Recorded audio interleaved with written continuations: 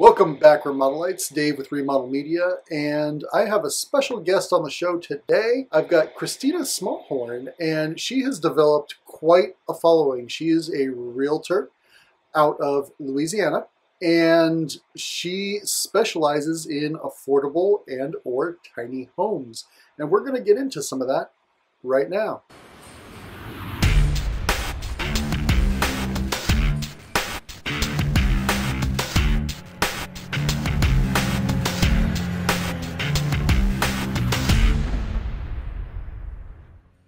Kristina, welcome to the show. Thank you very much. All right. So Kristina and I actually originally connected on TikTok, actually. It is a very small world once you get into the area of content creation. That's what I'm finding. How about you? Very, very, very small world. And it's uh, great because you make uh, people that are truly connected into what you're wanting to do, your mm-hmm. uh, line of, of content creation, and then you all become friends. Doesn't take exactly. long. Exactly. I am a sucker for a good origin story. Can you tell me yours? How did you know you wanted to be a realtor? Thinking back, what are some of the earlier milestones that you said, yeah, I was probably going to be a realtor? I had a crappy, I had a good real estate agent and, and then I had a real crappy real estate agent. And I'm like, if I was a person trying to buy a house, that's, I want somebody like I had originally, that good real estate agent. And so um, when I had that bad one, I'm like, wow. And we kept going through bad ones. We kept like one mm-hmm. right after another. I was like, forget this. I need something better. so I was like, I'm going to do better for people that I got when I moved here. So I went awesome. ahead and got my license. Sort of a pay it forward kind of a thing, huh? Right. Absolutely. Absolutely. And then um, as time went on, I realized uh, being in this business that uh, there's a, a group of people that are literally treated differently because of the type of homes that they're buying, which is just disgusting to me. So that's how I kind of got into affordable housing. I didn't even know what I was going to get into once I got into it. Can you dive into that a little bit more? Who is being treated differently and why? What are you seeing? So here in Louisiana, we sell a lot of manufactured homes. And when it comes to manufactured homes, the education on purchasing them is not there. There just isn't any. Mm-hmm. And um, so I made a few videos on YouTube uh, talking about how to purchase a manufactured home that you didn't necessarily have to have two separate mortgages, that you could have a standard 30 year mortgage. Because um, in many cases, they're told when they go purchase them off a lot that they have to have two mortgages one for the land and one for the manufactured home itself, which isn't necessarily true, which is going to cost them a lot more money and they're going to have to pay a higher interest rate. Um, to me, that's predatory lending. I think it's a terrible practice, and there's nothing we can do to regulate it. The worst part about it is that the people that run a lot of the state regulations when it comes to manufactured housing are the same people that are selling them off the lots. Mm-hmm. So, how does that really help the average person? It really doesn't. And manufactured homes get a bad name they're you know they're like i hear it all the time on my channel like uh, you know what kind of people live in there. They have a preconceived judgment of the people that do own manufactured homes. Um, i've been said told that they're tornado magnets. I've been told they're built like garbage. I mean all sorts of stuff and i'm like have you guys even been in one since like i don't know 1987 because they're not built like that anymore. They're not like that. What are you talking about? You know they and people don't know. So i just make as many educational videos as possible so people have an idea that maybe they shouldn't be renting an apartment. Maybe they should consider owning their own home and having a manufactured home. Um, that's how it all started. And then I got deeper, as I got deeper into it, there was always a confusion between manufactured homes and modular homes. So I made more videos about that. Mm-hmm. And then I saw that more people were getting into tiny homes, which you can get a tiny manufactured home, you can get a tiny modular home, you can get uh, what they consider a PMRV. And there's so many different terminologies when it comes to tiny homes. So I helped educate people about that. So it just, is like a rabbit PMRV. hole. PMRV. Yeah, PM. Let, what, what is a uh, PMRV? A PMRV is actually a uh, a home, like they call it a park model uh, mm-hmm. recreational vehicle. So it's it's a home like a tiny home that you see. Most of them you see mm-hmm. are PMRVs, and they're the ones that have wheels, and they're designed to be traveled down the road, not uh, not for long distances, and not always. But uh, not, but most people don't. Road tripping. Right, but a lot of people, you know, will it's for you know like a like a good four to five month trip, and then you bring it back home. Mm-hmm. Um, the the thing about it is that with a PMRV, a lot of parks uh, will not allow you to do long-term living use. And the design of a of a PMRV, it is not intended for long-term living use. It says it's strictly on the on on the tags. It says it's not meant for living use. So um, I help people understand that if you are building a um, tiny home and you're going to do this PMRV, just know it's not designed to last you, uh, you know, 30 years. What I've Uh-huh. always been told about manufactured homes is they depreciate in value. The land appreciates, but the the actual manufactured home will depreciate with time. Is that true? And Not, not in all cases. No, that's not true in all cases. Uh, if you go into places like New Jersey, go into places around Arizona, there's plenty of places in Florida. You can have a manufactured home and you will definitely increase value. It doesn't necessarily mean you wouldn't gain. You would gain more value if you owned a home instead of a manufactured home, but it doesn't mean it's a depreciating value. And it isn't just the land underneath it. Um, matter of fact, I, I, if you ever look in the comment section of many of my videos, people are like, I just sold mine and I bought it five years ago and I gained $30,000 in equity and it had nothing to do with the dirt. You know, it's like, Really? in some cases, yes, that is going to be the case. And if you're buying a manufactured home in a park, most likely it's not attached to the land. You're probably renting the land underneath it. So yes, it would be a depreciating value because it isn't considered real property, and that would be a different type of loan. But um, you can gain value. It doesn't. There isn't a standard that yes, you buy this and it's going to sink like a rock in the depreciating value. One of the worst quotes I've ever heard in my life was uh, from a guy named Dave Ramsey. I'm sure you've heard of him, and he says and he says, uh, why would you ever buy a car you'd sleep in? He calls mobile manufactured homes a car you sleep in. But I'm like, hey, assist, I think that's a pretty crappy way of looking at things because why would you continue to rent from a landlord when you'll never, ever, ever own it? You know, like that's just stupid to me. Um, you know, in some cases, yes, you're going to lose money like a rock. There's plenty of people that put these in the wrong location. Um, just like any kind of building you you put in, location is everything. They don't maintain the properties correctly. Um, the skirting comes off, and they have lots of problems.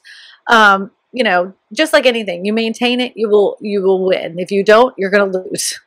That's Absolutely. it. Tell me a little bit more about when you first started on YouTube. You you had mentioned something earlier about doing skits and sketches and things like that.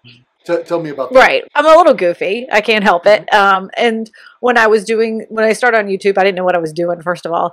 And secondly of all, I was just, I was making videos that I found fun and funny because, you know, necess- real estate information isn't necessarily the most like, uh, riveting kind of stuff. And so um, I just was kind of like adding a little sketch in between the educational part of a real estate video.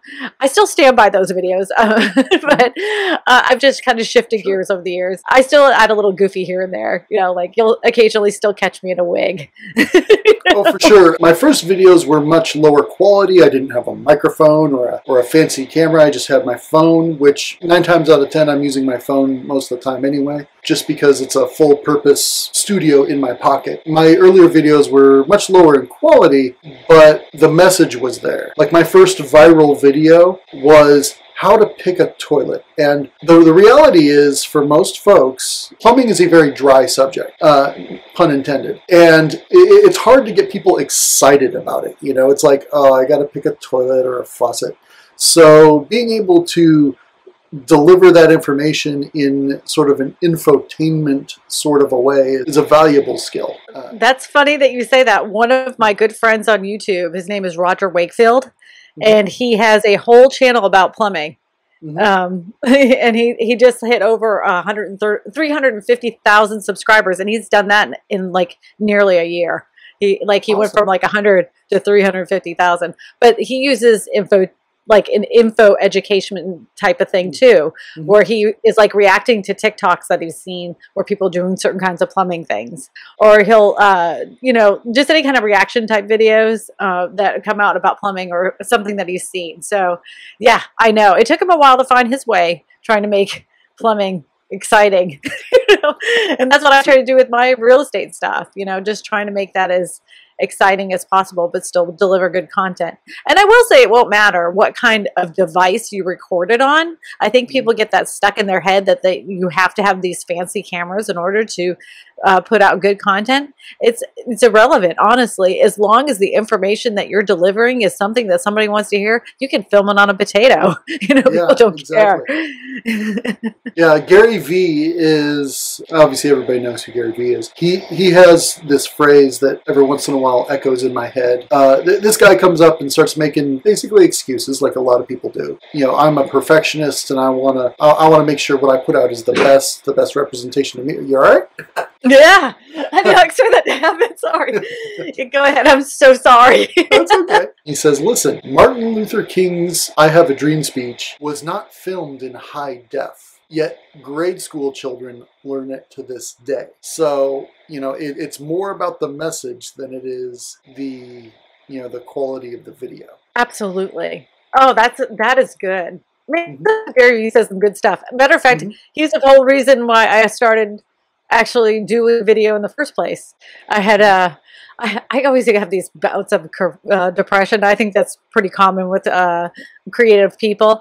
And uh, I was laying in bed, and he was like, he was doing one of his spiels, and he said, if you're not recording, if you're not making video, putting out video content right now, he's like you're you're gonna lose in in five to 10 Mhm. years you're gonna you're gonna regret not taking the the uh this opportunity that i'm telling you right now which is to film something and i was like i'm a goofball i can i can film something i'll go ahead and do that Yeah, I put out a video back in December 2019. I published it on LinkedIn. And this is before COVID and everything. And, and I said, there's going to come a time when 99% of the decisions people make about their remodel are going to be from the comfort of their own home. Um, and at that point, I said, I, you know, it, it'll be in my lifetime. I could be 90 before it happens, but it'll be in my lifetime Mhm. uh, and it could look completely different than it does today. You know, VR goggles and the whole, you know, a virtual tour through a virtual showroom, see, touch, and feel, you know, something like Mhm. that. But there's already technology that exists. Amazon has it, and a couple other vendors have. I think JennAir at one point they had it. I don't know if they still do, where you can literally take a picture of your kitchen and superimpose the image of the product over your kitchen so you can see how it would lay out, how it would look. So if augmented reality on your phone exists now, how long is it going to be before 99% of the shopping is done in home? And and that's that's that was the gist of the video that I put out there, little three minute thing. And then all of a sudden COVID happened Mhm. and everybody was buying stuff from home. And we had this spike in home remodeling. I'm sure you saw some of it. Uh, people, you know, renovate. You know, they're sitting around looking at like, I don't like this color. I don't, you know, uh, and whether it's a, a fresh coat of paint or a complete remodel, people are making changes to their living space to make it more comfortable, and they're going online to find solutions to that. So, you know, when I first started doing this, I mean, people were generally either ambivalent or supportive, but there were a couple of people who, who told me, you know, you're doing what? You're putting videos out on YouTube? What? What? Why? Like, they, they just couldn't get it. And I've come to realize they probably never will, or, or they, they won't until it's too late. Yeah, I know. And um, when I first started doing this, I got a lot of a lot of flack, a Mhm. lot of flack. Mhm. And and now it's like, who's laughing now? You know Exactly, exactly. and um, even even in my own uh, you know field of real estate, when I first started, people were like, "Are you sure you want to put yourself out here like this? You know, are you sure Mm-hmm. like you're going to turn off a lot of people by doing videos like this?" And I'm like, I don't care. Like I Mhm. really honestly don't care. Those people I probably didn't want to work with anyway. I'm totally fine with not making the whole world happy. you know? Exactly. So Yeah. anyway. So I, I just went to the covering show, which is uh, like a tile and stone show in uh, Orlando, and I was talking to some reps and things, and the conversation came up that even in 2021, there's so many people that are still so camera shy. It's it's almost amusing to me because I have reps that will sit down with me for hours and talk to me about their product. But the minute you say, "Hey," let's make a video about it. They're like, oh no, you know, like, ha- have you have you seen anything like that? Absolutely. Yeah. Absolutely. Well, when I first started doing real estate videos, it was like this thing that Gary Vee was saying was to be a d- digital mayor. So you basically would go around and be like the host, but the the star of the show was somebody in, in your local area, um, where you would feature a restaurant or whatever. And I l- would spend a day trying to convince people, local people, I didn't want anything mm-hmm. from other than their business, and I didn't want any money or anything else. I just wanted their business. It was like I was spending more time trying to convince people to do that than actually mm-hmm. do real estate. I was like, this is stupid. You know, I quit doing it. It was just dumb. I I just quit dumb- doing it. I'm like, this digital mayor thing is not for real estate. I mean, I know many people that are in real estate that have done it, and some of them have been successful. But more people have not been successful than been successful doing that. Mm-hmm. so whatever. Now, a little birdie told me you've got an important event coming up in a couple of months. That uh, you're, you're actually a keynote speaker. Tell, t- tell the folks at home. Uh, yeah, I'm I'm a featured speaker at VIT Vid Summit 2021. The conference actually I attended for the very first time in 2019. Of course, I planned on going in 2020, but you know the pandemonium happened. So. Mhm. um, yeah, and then one day Derral Eves just messaged me and said, "Hey, would you like to be a speaker at Vid Summit?" I'm like, "Okay," and I've never spoken like this about YouTube. So, um, um, my whole speech is just basically how to um, how I go from you know the ideation of a video to the point of publication, and then how I do live streaming. It's just a, it's it's a it's almost like a guidebook exactly of what I do, so that way I can get my videos uploaded and shared with the rest of the world. Talk about live streaming because that's that's still something that a lot of folks are either hesitant to start. Um, how how do you go about deciding what topics to present? I, I assume with hundreds of thousands of followers, you at least have dozens of people in your live chat, right? Yeah, um, I get an average about like 200 to 600 people that show up Mhm. weekly, and and we basically just talk about the housing market because it's you know real estate related. Um, I've I've done live streaming from the time I really basically started YouTube. I used to have a real estate trivia show, which didn't wasn't very successful. I've had very different adaptations of live stream found my way, and now it's like I have a guest usually uh, on the show. I um, we'll interview them or we'll talk about a, a news article that's come out in, recently about the housing market. And then um, people in the chat will ask their real estate questions, and we have a full on discussion about it. Um, some guests are better than others. and if I have a really good guest, I have them on often. So, uh, yeah, that that's how it runs. I mean, it's very very fun, and I do it for about an hour. Some people will live stream for hours, and I uh, usually by the time I'm about to end, that's when I have the most the highest amount of people on. But I know that for replay value, most people aren't going to watch. I'm so I'm shocked that they watch for an hour. So, Do you get a lot of replays? and so I don't want to keep my guests. Yeah, about 30 30,000 replays oh wow! after Okay. after it's done. One question I really love to ask is tell me about somebody who's adopted you, somebody who has helped you out along the way, especially when you were very small when you first started. Oh, there's some. There's several people. Um, there's a when I first started, I would say the very first person that was like, "You can do this," and I didn't even know who they were. Was a guy named Miles Beckler. I mean, he would always just pop in on my videos. Another um, channel that that really was helping me along the way was a VCG Construction on YouTube. Um, the guy that runs that, his name's Vince, and he is awesome. He's always been very supportive.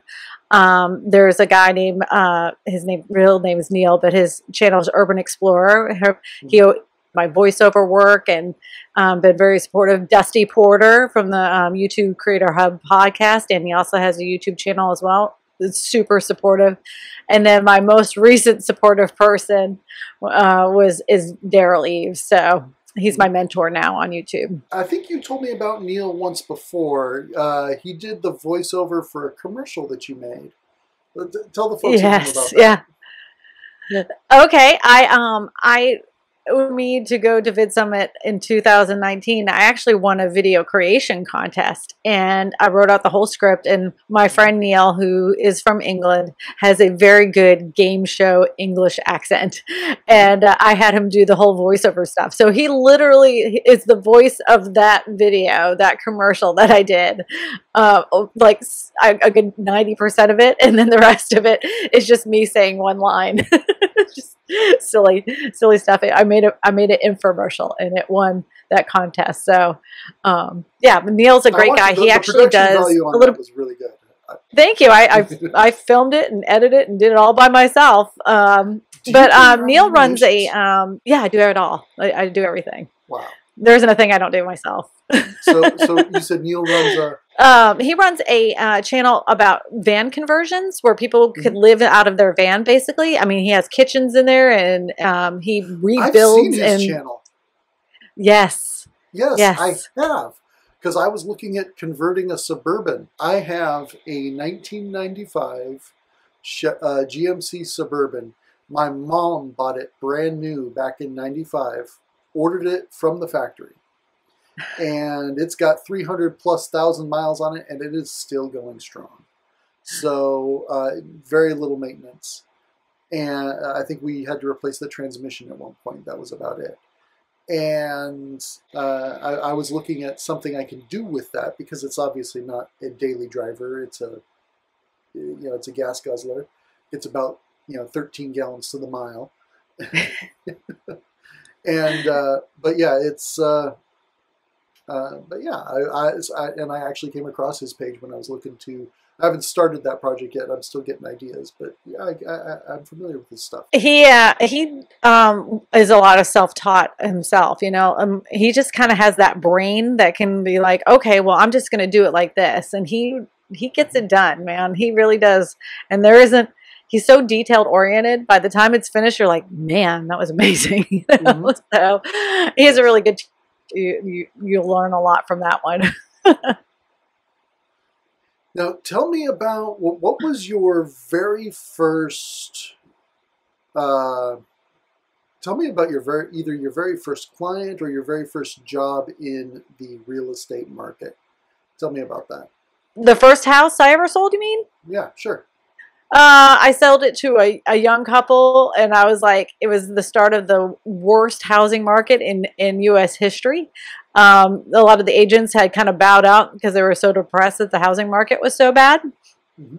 And um, I was just doing open houses every weekend, and there was this couple in um, that wanted to buy a house, and they had recently gotten married after being divorced for a long period of time. So they got got married, and uh, uh, I found them a house. I mean, we just kept looking at houses after houses after houses. It was kind of a, a crazy thing that happened. Like uh, they were so excited, and at the end, the um the the title wasn't correct, so we had to like they had to actually wait over the weekend to move into their house. But the lady let her them move in. It was a the that was the one of the craziest sales I ever had. was that the craziest sale you've ever had, or do you have you? Because that's also another question I love to ask is Tell me about a project or something that went horribly wrong. Um, well, I wouldn't say horribly wrong, but I did or, show like or, or off the rails. I had I showed a house to that uh, looked at about 38 ha- homes. Uh, being, we're, I'm still friends with them. I just love them to death. And then um, I've had like I had some crazy things. Anything that has to do with divorced couples or divorcing couples is always a nightmare. Uh, like, and I did have a real estate agent that um, I had a had under contract, and what she tried to do is try to get us to not be under contract anymore, and she would take steps because she had a buyer in the wings. So when we needed an extension, she lied and she wouldn't exp- extend out our contract. All we needed was two days. So because she had another buyer, so she had her sellers wait an additional 35 days to close on it because she wanted to double in the deal. That was probably the really? the most awful thing happened. Oh yeah, yeah. Real estate's not for the faint of heart. people are yeah. Um, people try and get away with anything sometimes. So I had a couple uh, that uh, I had a couple that ch- uh, canceled a contract because their thirty no their sixty pound turtle didn't like the backyard. It was too mushy. Well, I got to take care of the pets, I guess. so, um, when it comes to when it comes time to like remodel a home, what what are some things that you've seen folks try and sell or pass off? Have you seen any really crazy DIYs? Like, why did you do it like that? Oh, of, course. Um, um, like out that were kind of crazy with uh like the um where the gas line was. Mhm. I'm like, um, yeah, that's not not that that wasn't plumbed correctly, you know. What, what, what Um, the gas line? You, you cut out there for a second. uh, the gas line wasn't plumbed correctly. You know, they put it in the wrong place. Um, I, w- they're trying to bring water out to the outdoor kitchen, and the, so they just use a garden hose to stretch out the line. That's Um, one way to do it. Electrical guess, stuff that's cor- yeah you know just silly electrical stuff not using the correct electrical tape um, plumbing fixes that are i mean you name it really it's all over the place. Oh, sure. wood flooring that wasn't put down right uh, they they'll put some kind of stickum stuff and throw it on the wood floors and you're like why is the why is the floor like bouncing and it has a sticky sound? And then I, just people are funny. People are funny Yeah, the house we just bought in Virginia out here is, um, well, I, I'm sure you've seen the videos. It is not for the faint of heart, and it's probably going to need to be torn down and completely remodeled, uh, or you know, built up from the ground up, probably. But I've noticed there's a lot of uh, like redneck wiring. Uh, Yep. technically, it works, but you're not supposed to do it like that like there's there's one room where they they completed the circuit by stretching another outlet and plugging the outlet into an extension cord to complete the circuit to power the rest of the room. It was crazy. It was weird, but uh, yeah, I've uh, I've seen some interesting things in this house. Yeah, well, um, like flip properties. What years ago when people were flipping, everybody thought that they could ha- flip a house. I saw Mhm. more funny stuff then. You know, people people think they're uh, like they're they're going to be like on a TV HGTV ho- house flippers, and they'll paint cabinetry and they don't do it right. They didn't Kilz it, and it's already starting to bubble. You know, well, Well- whatever.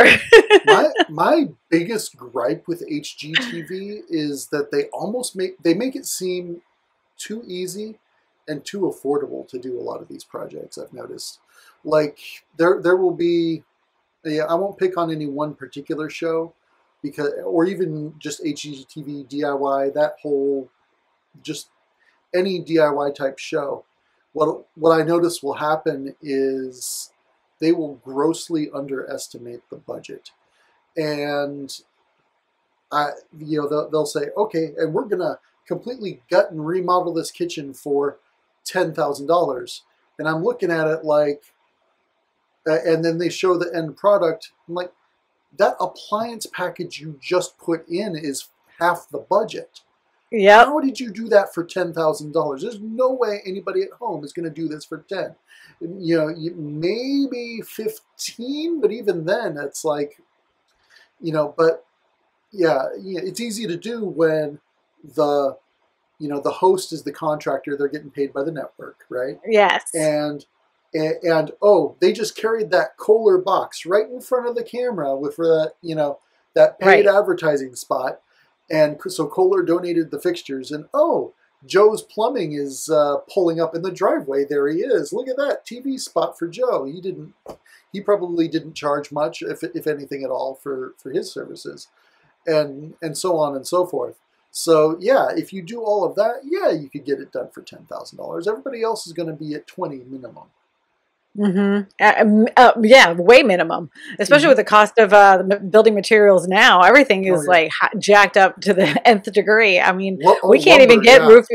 We can't get roofing materials. We can't get lumber. I mean, thank God lumber is finally going down again. But I mean, it's still not anywhere near what it was a year ago. I mean, you got to cut that ha- that price in half again in order to be at the prices we were over a year ago. Um, the the delay of supplies is is causing the biggest problem. Of course, every time you delay a project, that's costing you more money.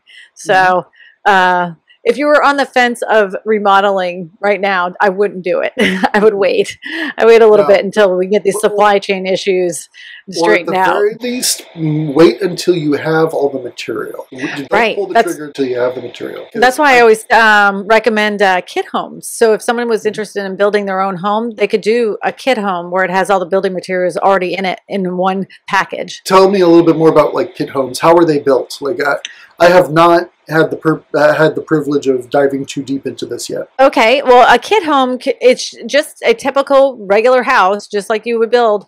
Um, but you, like, if you reference back to like the Sears and Roebuck houses, everything you possibly need for a house, everything, including the crown molding, doorknobs, everything, comes in one box. Uh, in the early 20s, 30s, and 40s, Sears and Roebuck used to bring them in on the trains, and you would have these freights of uh, lumber and and roofing materials and everything would come in there. And then it came with a instruction manual. They claimed that it would take about 90 days for it to be built but some people said it took up to nine years to for it to build, be built. But they're extremely detailed beautiful homes. And once they're completed they're built to just regular standard building codes. So you'll be able to pass building inspection codes with them.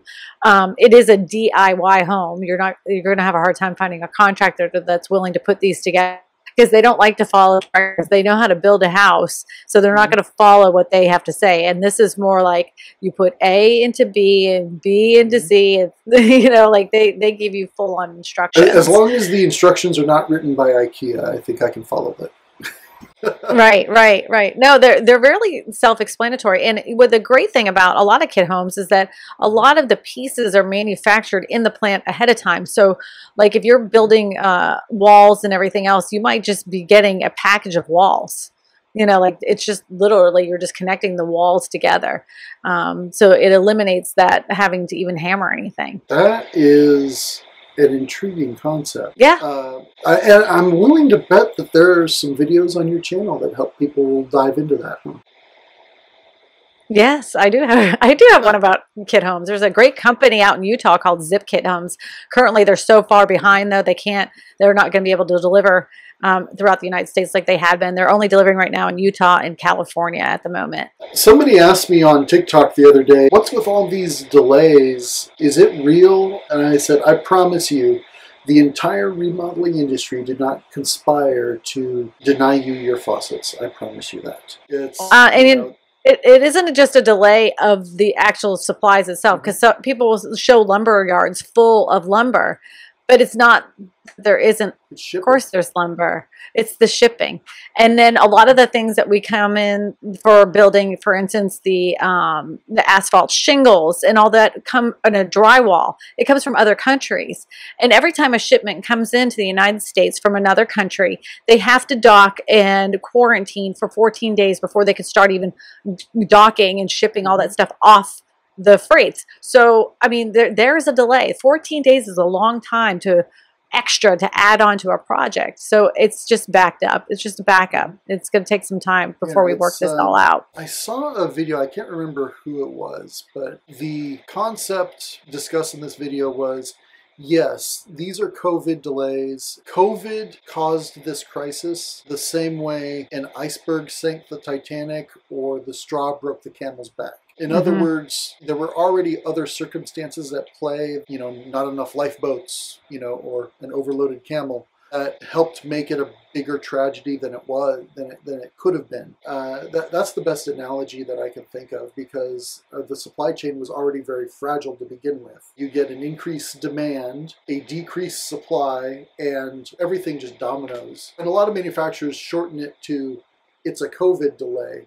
That's what they're really saying is, you know, it was just a perfect storm of circumstances that just No, and nobody could account for that. The system. And nobody can count on that. How do you plan for something like that? Nobody Mhm. expects the world to shut down for a month.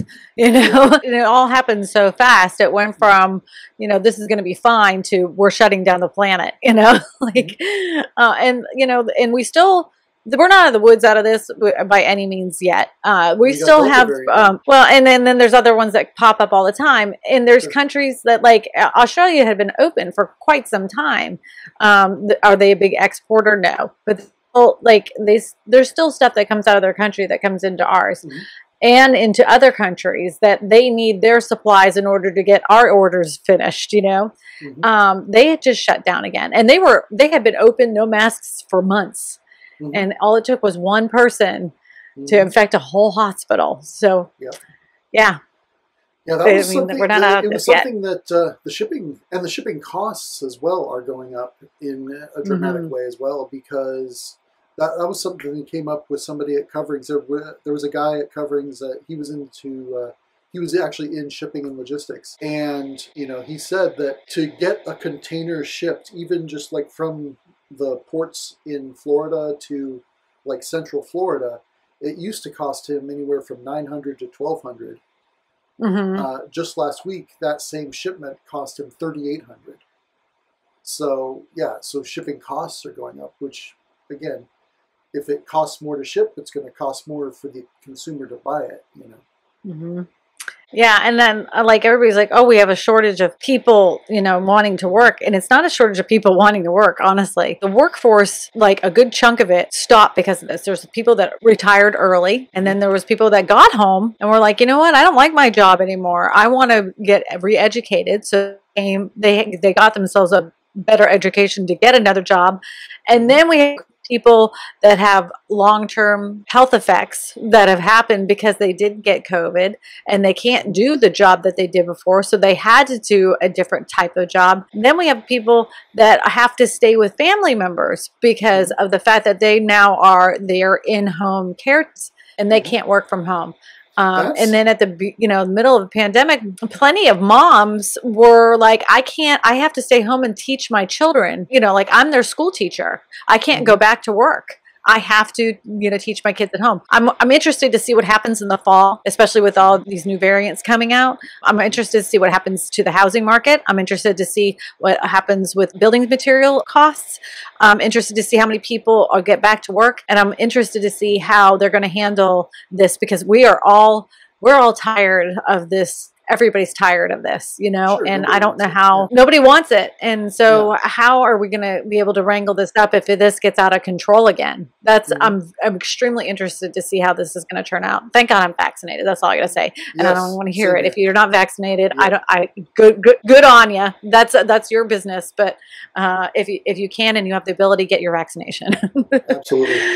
That that is an interesting thing. Something that nobody talks about, or few people talk about, is e- everybody talks about. You know, the we- had six hundred thousand deaths, but how many more people got permanently disabled, or are now the caretaker of somebody who's permanently disabled, or even partially disabled? Like, And a lot of elderly people that were close to retirement took early retirement because they're like, I'm not mm-hmm. working this baloney. Forget this. Yeah. I'm not going back to the office. I'll just take early retirement. There was a mm-hmm. good portion of people that did that.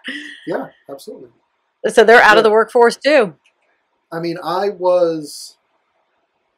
I, I feel guilty uh, a little bit when I say that 2020 was a good year for me because it was such a bad year for so many other people.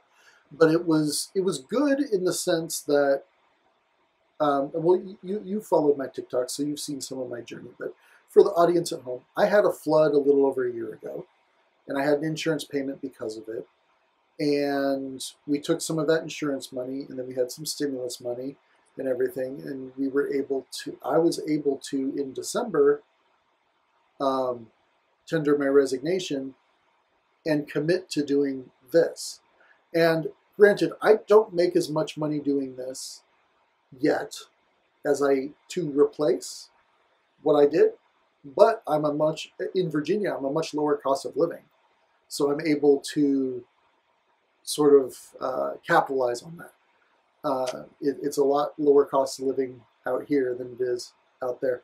My registration for my car is going to be like thirty dollars or something like that, whereas it would have been over 300 400 you know, in in California.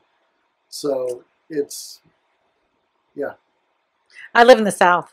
You know, I live in uh, I live in South Louisiana, Mhm. and uh, the cost of living here is a lot less expensive than it was. And I lived in uh, cost of living there. They say isn't that bad, but I can honestly tell you it's terrible. The cost of living in Florida, in Central Florida, is it's difficult. um, you have to drive to get everywhere. It's Mhm. hotter than heck, so you have to run your air conditioning.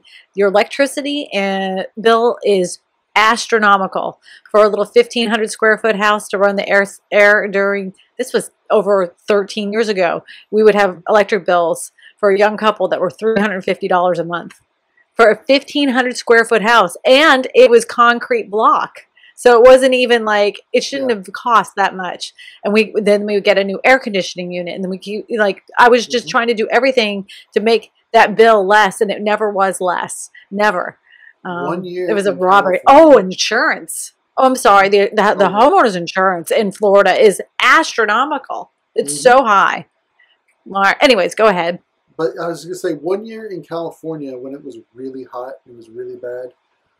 I remember one year we had a $900 monthly electric bill. $900 for one month. That's not even like we were behind and catching up. No, that was one month, $900. So yeah, that's crazy you know, I just got my electric bill, and, and we've been running the AC pretty regularly out here because it it's not super hot. It, it's only let's see, right now, like you might be able to see, I, I got a little schwitzer here, you know. Um, you know, the high today is supposed to be 82. Uh, there's some humidity, and that's a different issue. You live out in the middle of the woods. There's lots of uh, everything's very wet, and there's lots of moisture in the air. But Oh, don't t- Uh, I live in South Louisiana. Tell me about it. I feel like I get hit by a wet blanket every time I walk out the door. oh my gosh the first time i went to louisiana the when i about a year ago when i did my first road trip out here i went through louisiana and we had the ac going full blast in the trailer so we pulled it never out, caught up, did it?